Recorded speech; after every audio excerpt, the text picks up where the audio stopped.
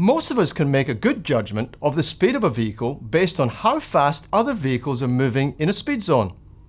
Qualitative descriptors like going too fast, speeding, breaking the speed limit, etc., might be used to describe vehicles that appear to be breaking the speed limit. These qualitative terms are not false, but they contain very little information. It's often necessary to quantify our observations in order to make detailed assessments of the situation. The difference between quantitative and qualitative evidence is important to distinguish. This second video clip, where the speed is displayed numerically, is an example of quantitative data. How can we differentiate between quantitative and qualitative data? Qualitative data describes, explains, and characterizes the subject of investigation using words rather than numbers. Quantitative evidence or data contains a numerical measurement of some kind.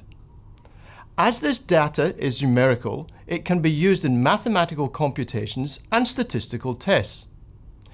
In this module, you will have the opportunity to test your understanding of qualitative and quantitative evidence, as well as examine validity of evidence. In order to examine the validity of evidence, Let's turn our attention to some of the quantitative data that has been measured. In this case, the speed of a car.